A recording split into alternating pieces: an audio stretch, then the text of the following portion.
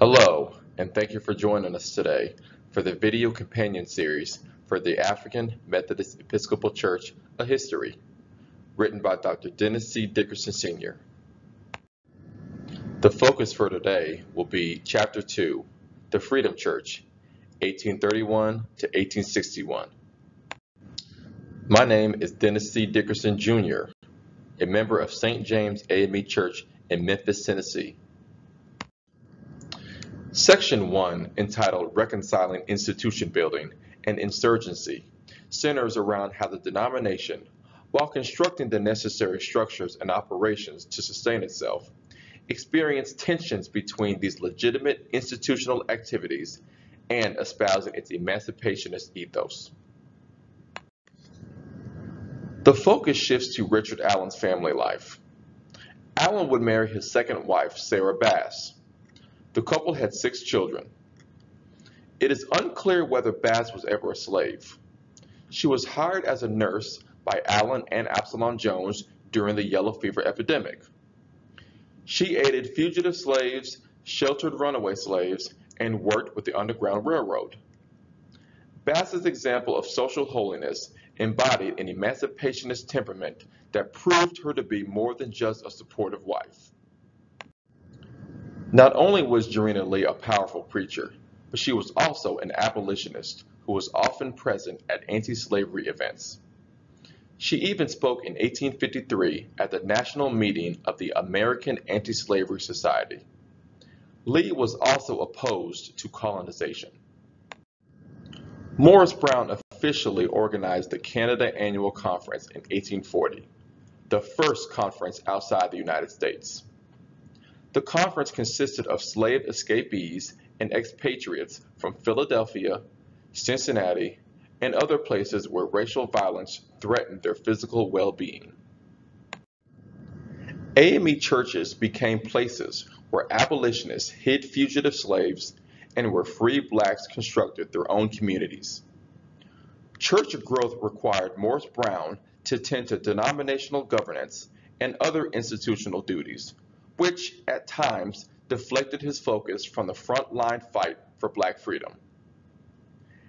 AME leaders were wrongly accused of being focused on their own insular interests more than with major matters confronting the black population.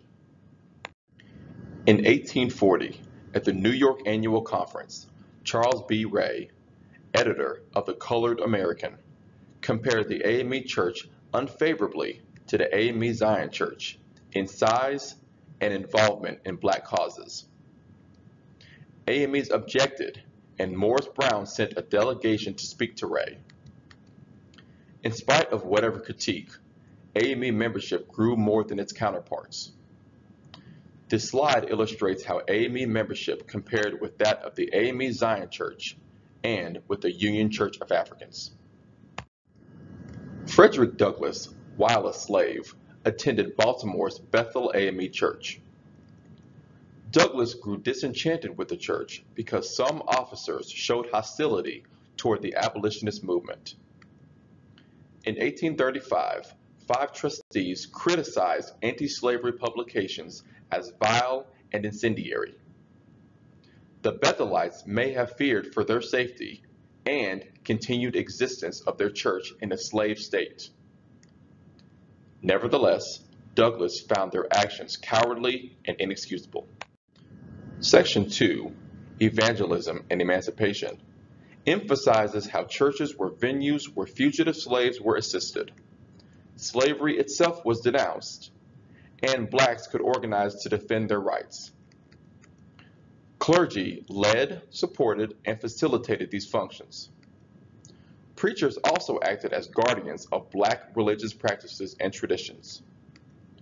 Whites, many affiliated with the Methodist Episcopal Church, interpreted their efforts to organize and develop black churches as racial insurgency, deserving of stiff opposition and hostility. Some from the first generation of AME ministers include David Smith, born into slavery in Maryland, and a one-time AME Zion pastor, Dandridge F. Davis, who determined to seek out the AME church after having a dream about a denomination of, quote, colored soldiers, officers, and all the sable sons of Africa, end quote.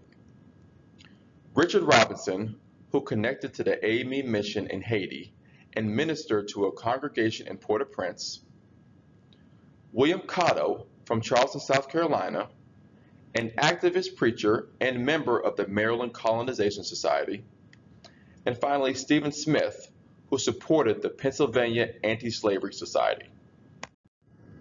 Now, Daniel Payne wanted an Orthodox Christian denomination, an educated clergy, and an established dogma. His pursuit for an educated clergy led to a purchase of Wilberforce University in 1863. Serving as chairman of the Committee on Education, he proposed the ministerial course of study. Another educational advancement of this time was in 1837 when AMEs in Ohio formed Union Seminary near Columbus. In 1856, Payne established the AME Church motto, God our Father, Christ our Redeemer, man our brother.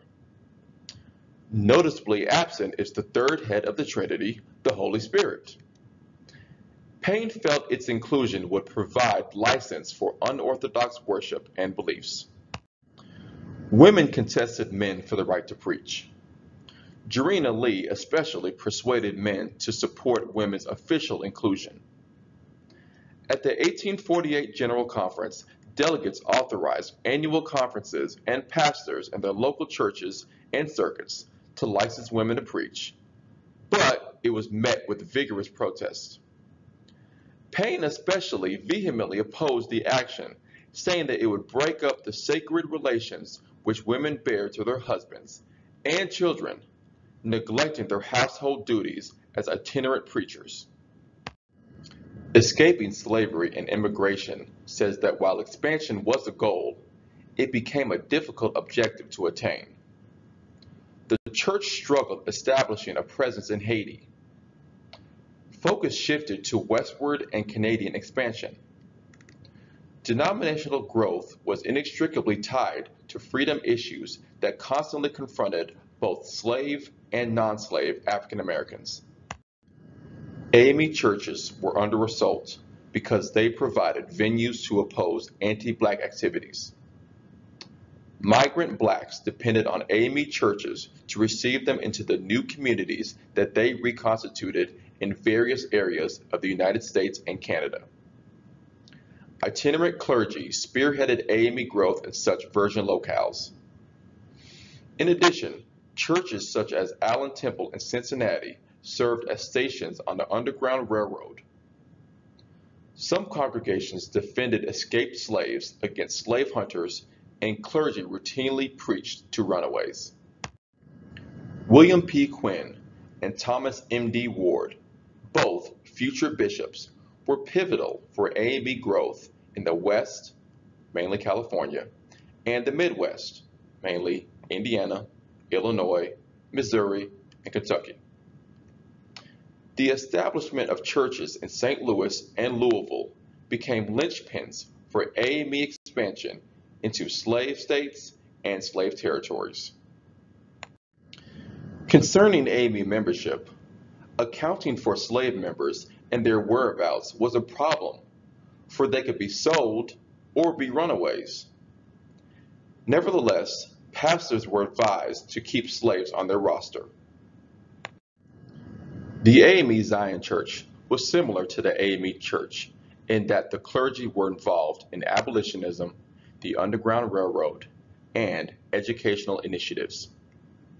However, the AME Church and the AME Zion Church differed in that the Zion departure from white ecclesiastical domination was less acrimonious and lacked a narrative like that of the AMEs. Secondly, the geographical spread of the AME Church exceeded the AME Zion Church, and AME expansion benefited from the evangelism and supervision of bishops, while the AME Zion Church repudiated the lifetime episcopal office. In itinerant ministers and a mobile laity, The Fugitive Slave Act of 1850 spurred AME growth and required the denomination to protect runaway blacks. For example, Pittsburgh's Wiley Avenue congregation hosted a meeting of local blacks to approve resolutions to thwart slave catchers coming into the city. The bill caused a rush to Canada and AME settlements established, especially in places such as Dresden, Ontario. Blacks fled westward to the Great Plains and Canada after the Dred Scott decision and Bleeding Kansas. The AME Church expressed strong admiration for Britain and her territory because of her emancipation of slaves in the West Indies and her suppression of the slave trade in Africa. At the 1856 General Conference, the Canada Annual Conference became the British Methodist Episcopal Church. Bishop Nazrey would serve both as AME bishop while at the same time presiding over the BME Church. The American Colonization Society was founded in 1816. It stressed immigration to Africa, mainly Liberia. Slaveholders rearticulated the aims of the ACS by stressing the removal of free blacks and leaving slavery intact. Richard Allen initially supported the ACS, but flipped due to the intentions of slave owners. AMEs were hostile to the ACS, but not to immigration. JJG Bias encouraged immigration not only to Africa, but to Central America, South America, and to Haiti. Finally, and onward into the South and into the Caribbean, AME's pledge to evangelize to North and South America, Africa, Asia, and the Isles of the Sea. AME sent missions to Central America, Jamaica, and Haiti. Even though life for blacks was harsh in the South, AME still were determined to expand there. Proof is in the establishment of the Louisiana Annual Conference at the 1860 General Conference. This concludes the Chapter 2 summary. Please stay tuned as Dr. Christina Dickerson Cousin interviews another dynamic panel on Chapter 2. Please submit your questions and comments via Facebook Live. Thank you again for joining us.